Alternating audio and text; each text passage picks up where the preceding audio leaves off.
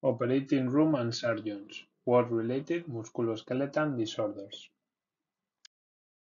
It is known the great concern existing with the surgical environment due to the pathologies associated with the practice of the profession. It is common among surgeons who perform any kind of surgery, such as laparoscopic or robotic, get pathologies in back, neck, shoulders, fingers, and wrists due to their work. These pathologies, which are mostly developed through practice, can cause a chronic injury, even lead to premature withdrawal from the practice of surgery, if it is not treated accordingly. Within the practice of surgery, it is also necessary to talk about the fatigue, discomfort, and pain that can be caused during or after performing a surgery.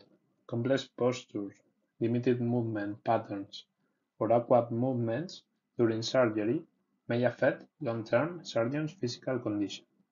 These pathologies could be partially prevented through ergonomic and preventive actions, which may have a physical benefit for surgeons and their teams. This work presents a systematic review with the latest studies carried out in recent years regarding the main ailments associated with the practice of the profession of surgery. The study has been done following these conditions. All the documentation has been written in English and was released in the last five years. All papers are fully available in different search engines. The treated documentation is based on work-related musculoskeletal disorders, discomfort in surgical activities, and injuries due to the surgical practices in operating rooms. This search was finished in April 2021, obtaining 2,497 articles with potential interest for the study, of which 13 have been selected for this study. The main method of discrimination has been the suitability of the topic, and from the first preselection, an exhaustive reading of the abstracts has been done. The methodology has been defined by the PRISMA checklist model.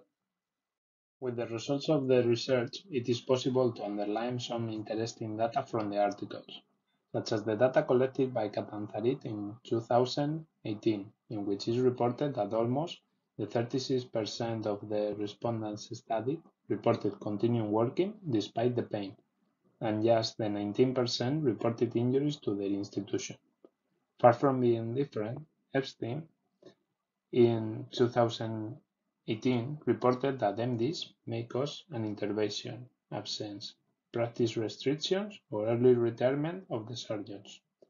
Also shared with Zairi in 2019 the necessity of physical ergonomic demands.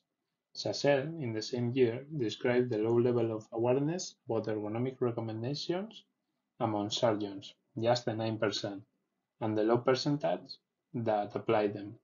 Alleblas in 2017 highlight the risk factor according to gender, being female surgeons more likely to receive treatment, as well as younger surgeons pay less attention to the body posture during surgery. Almost all the papers studied place the upright position as the most common during surgery, so back, shoulders, neck, and arms commonly suffer most of the MDs.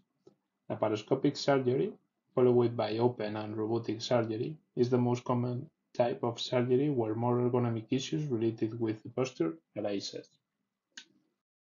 According to the discussion and future directions of this topic, it should be noted that the work-related musculoskeletal disorders are related to surgical practice, mainly in laparoscopic, the most studied surgical typology in this sense, in which the minimum required values are always above 70% being the usual finding around 90% of surgeons affected by the ailments. The same occurs in open surgery, where the values are between 60 and 80%.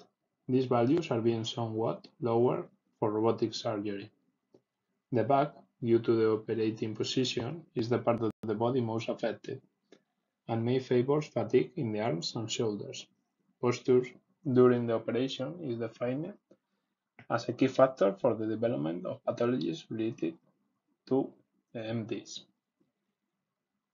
It must be underlined that failing treating these ailments can lead to premature withdrawal from surgical practice. Therefore, it can be said that experience plays a fundamental factor to avoid this type of pathology. The ailments are focused on personnel with less experience. Guidelines have been developed, as well as manuals of good ergonomic training practices. In addition, micro breaks, short periods of rest time during an operation, have also been shown to improve the surgeon's performance during the operation.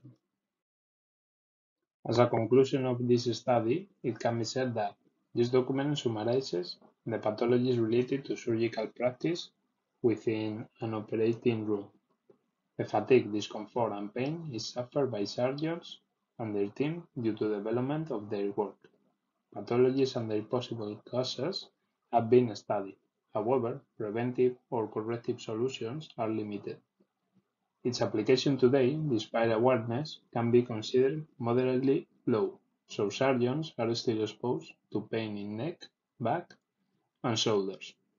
These pathologies are treated poorly and in a limited way. Surgeons and their team do not usually seek professional help in order to help a corrective treatment. Failure to treat these ailments can cause a chronic pathology.